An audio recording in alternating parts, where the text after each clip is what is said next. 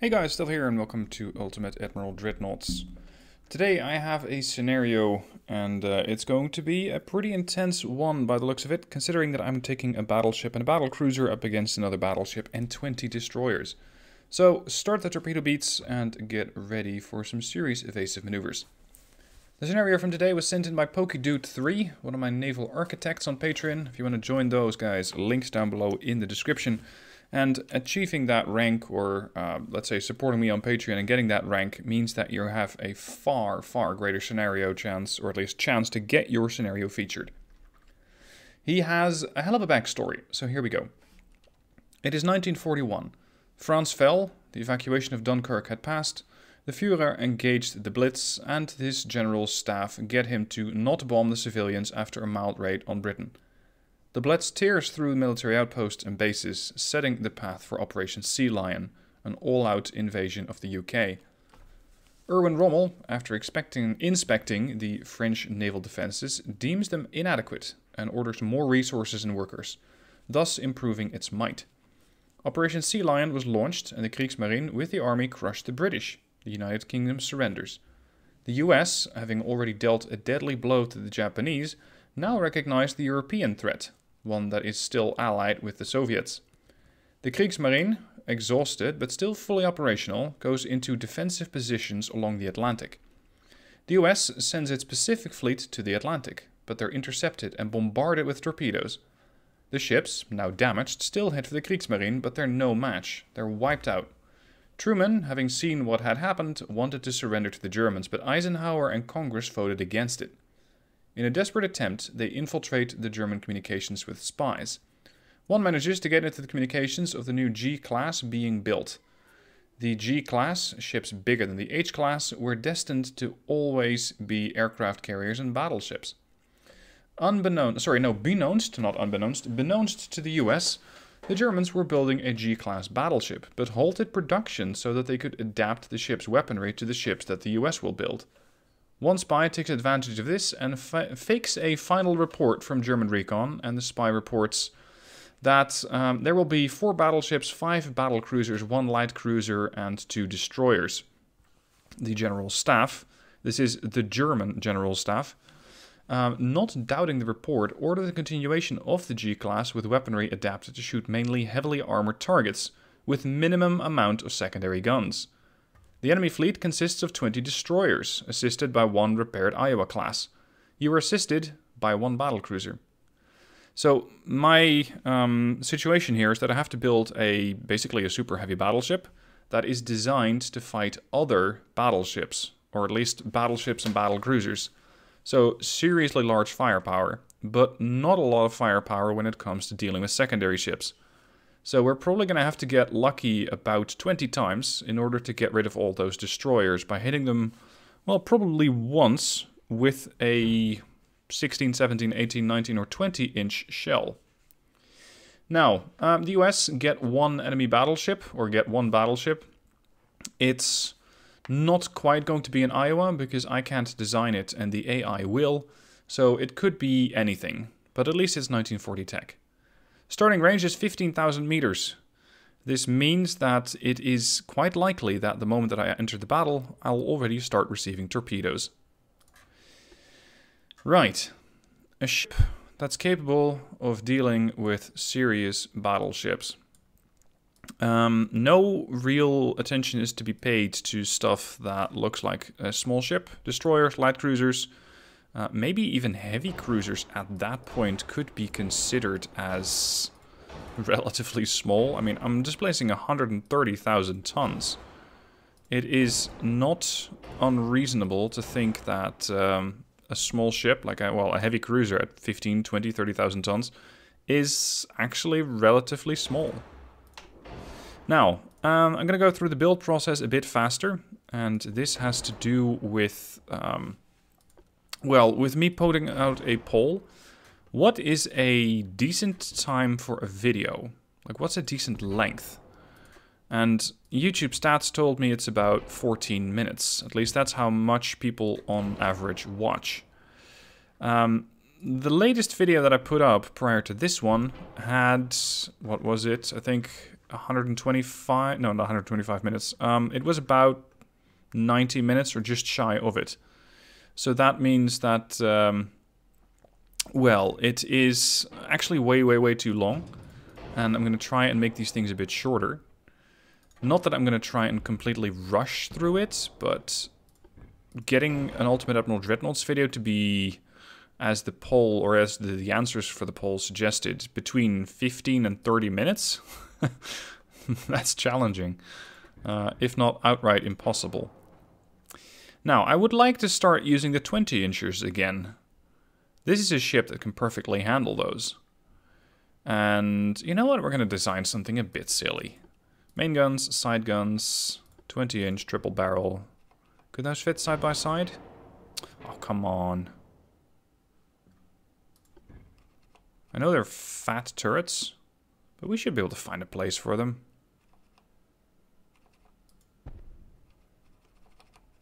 No, they're just just too big.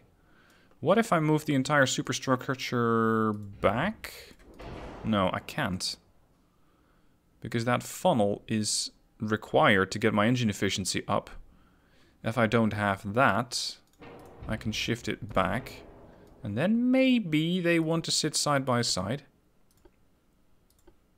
Now, as to uh, come back to the issue, it's not like I'm going to get rid of the design phase, because I know that a lot of you really enjoy the design phase. So I'm uh, definitely going to keep that in. But I might try and get rid of some of the less interesting portions of the, the video. Less interesting portions of a battle. Centerline guns, 20 triple. There. Aft weight offset's pretty significant. Um, come to think of it, this looks nice. It only really means that I have a lot of firepower when facing forward. So that's not ideal. And considering that I could put these on a barbette, I'd probably build uh, a barbette and then a quadruple turret. Yeah, that might actually make more sense. Because then I just bring a lot more firepower to bear on the enemy. So we're going to need the enormous barbette. Centerline gun, 20, quad, boom, boom. We are designed to deal with serious shipping anyway. So we're going to need this. We have a bit of an aft weight offset issue. But I can still shift this farther forward, bring the barbette farther forward, and maybe put the superstructure a bit farther forward. And then I do want another centerline gun. I don't think it's going to be 20 inch because they won't fit. But what could we fit on here? An 18 inch. Just look at how relatively small an 18 inch gun looks. That's an 18 inch gun.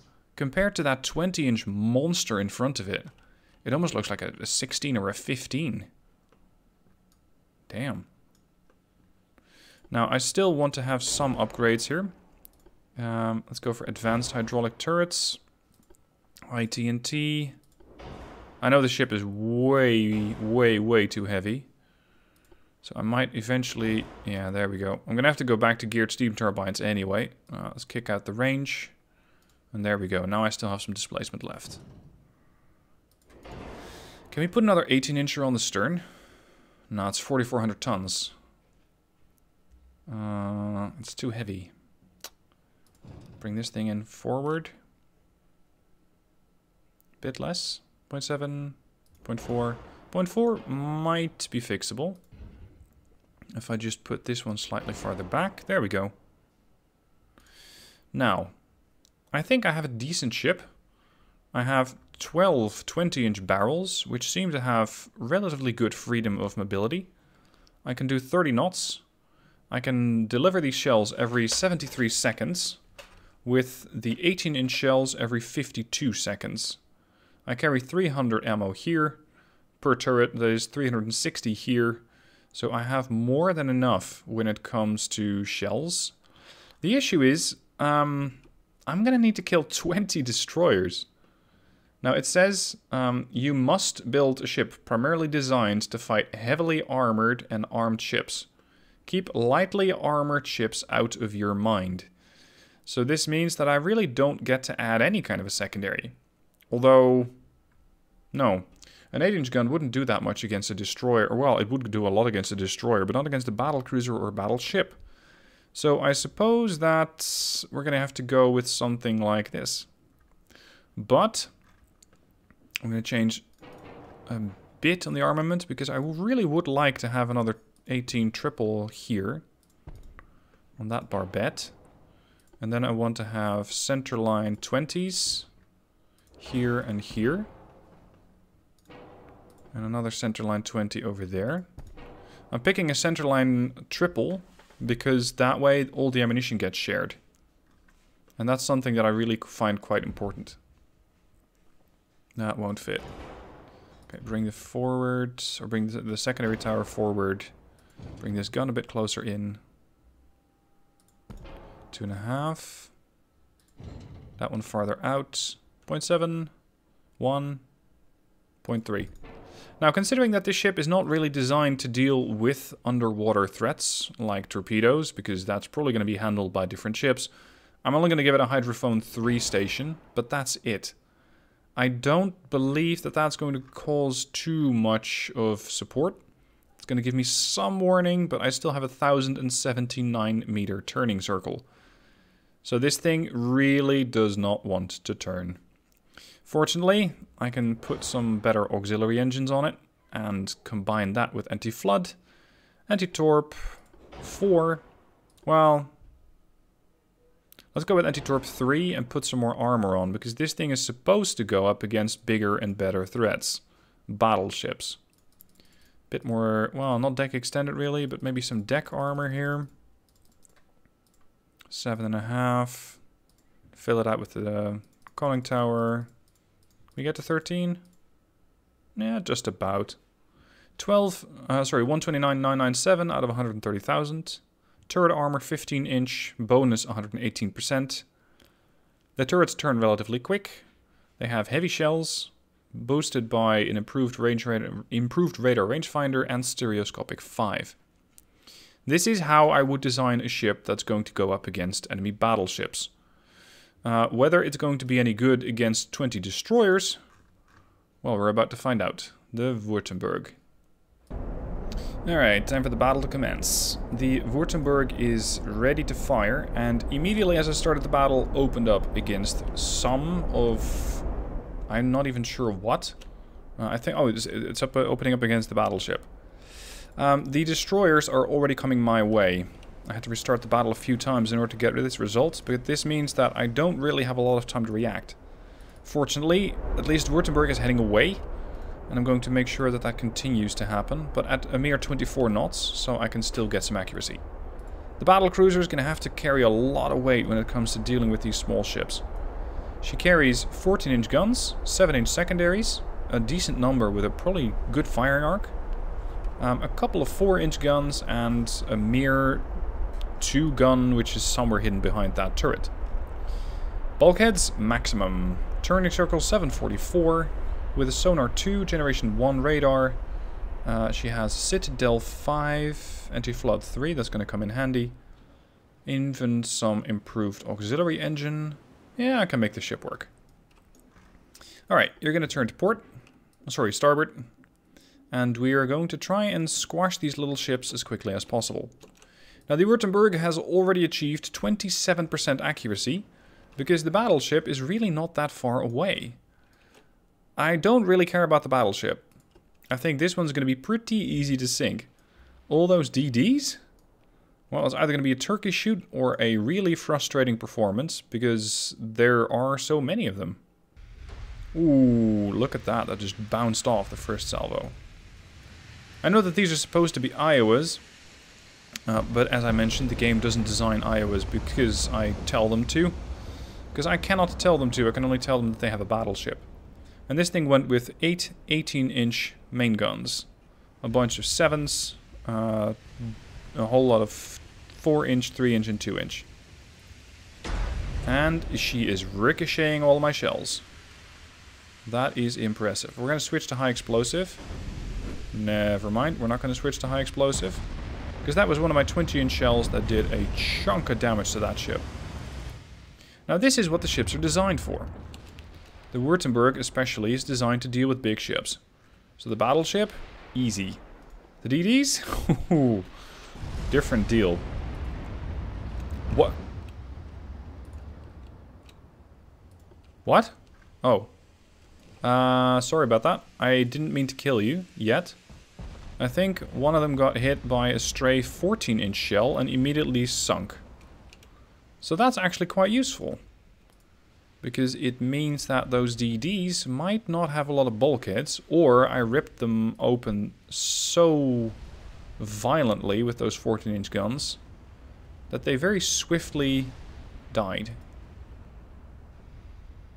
It looked like this guy's not really putting up that much of a fight.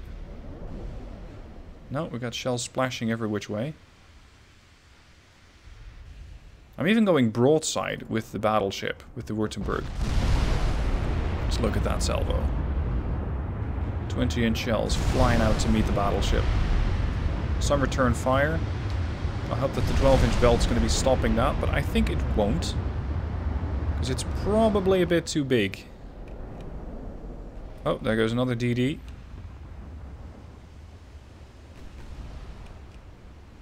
That one almost got killed off thanks to, I think, some 14 inch again. And once again, it's a shell type that should be decent against both ships, but wasn't actually aimed at the destroyer. The destroyer sort of just happened to be in the way. like that. So we're just shelling these, these, well, not these, this battleship here. And actually, well, almost mistakenly doing damage against the destroyer. Damage to the secondary tower and fire. Has she done any damage? No. The only shot that has hit me was a 7-inch shell. Interesting. Now normally I would charge pretty much towards the enemy. Uh, this time around I'm not that eager to engage them at a range of, let's say, 5 kilometers, which is my preferred engagement range. Because they have a lot of torpedo capability. Or at least with 20 destroyers, you'd think that they have that. They carry one... Is that a Quinn or a quad?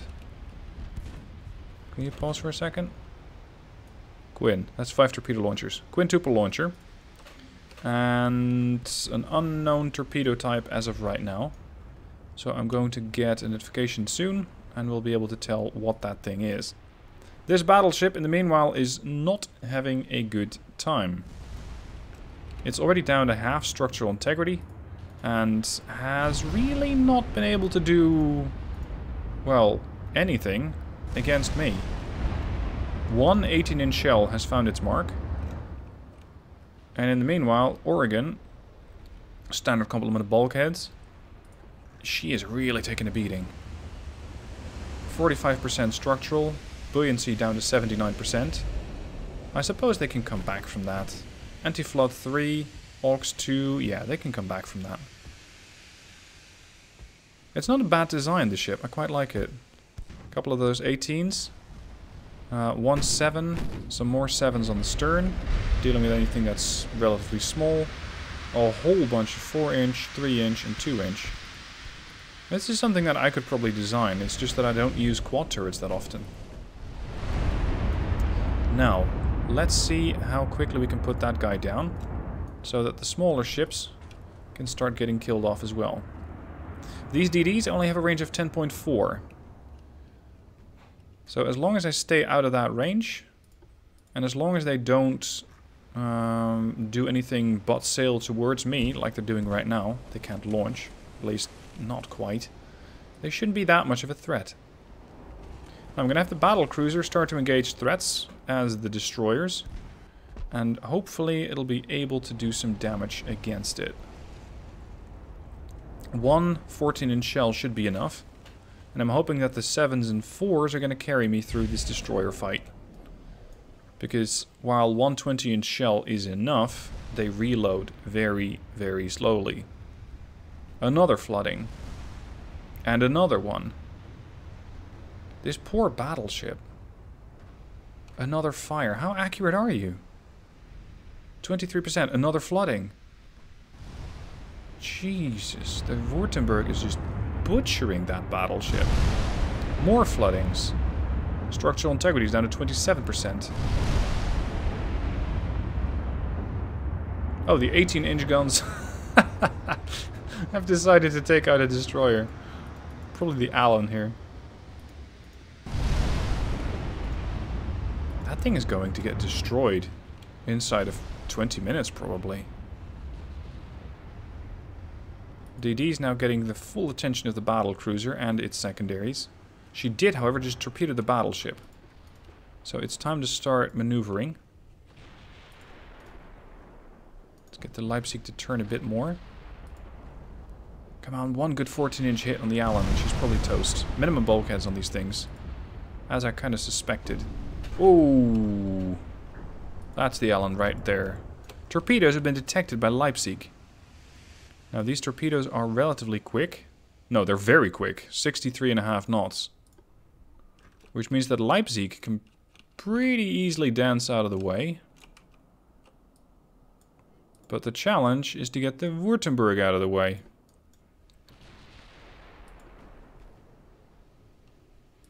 Carry on.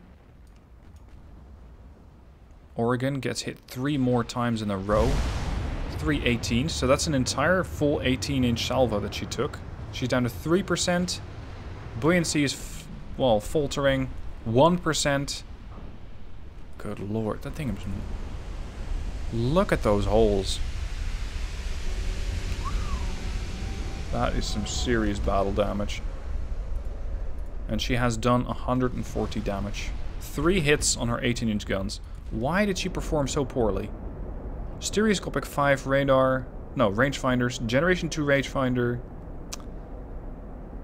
Lyddite explosives. So if she hits, she can do a lot of damage. 1575. And loader system? Um, auto reloaders. So they reload in 55 seconds. She just didn't get a lot of opportunity to actually use them. That's how quickly she got killed off. There she goes. Oregon is dead. Württemberg, already flooding, is about to get flooded a bit worse, as she's going to eat two torpedoes. Now the hunt begins against the destroyers. So it is time to load.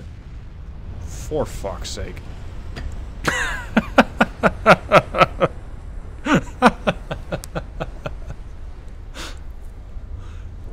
It is time to load the high explosive. No, said the whole game. No, you're not.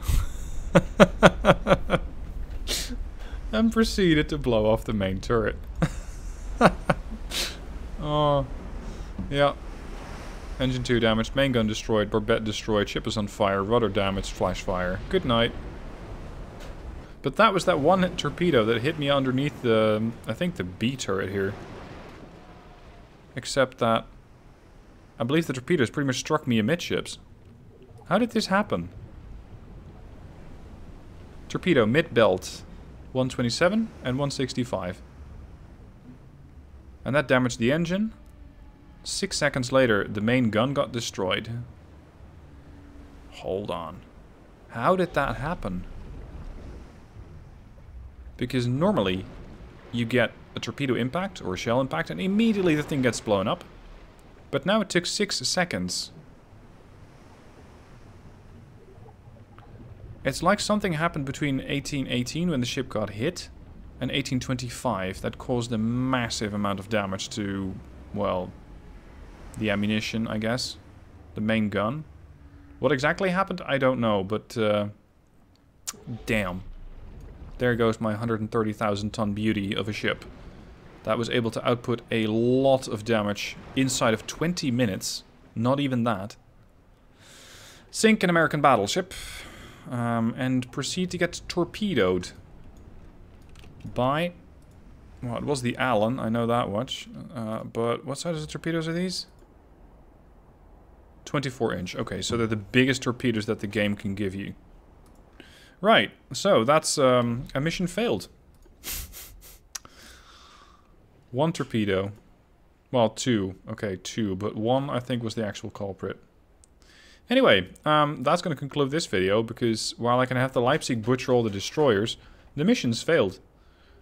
Uh, this is not quite how I expected to get to shorter Ultimate Admiral Dreadnoughts videos, but um, I'll take it. Anyway, thank you guys for watching. I hope you enjoyed it. Don't forget to subscribe, and I'll see you soon for the next one.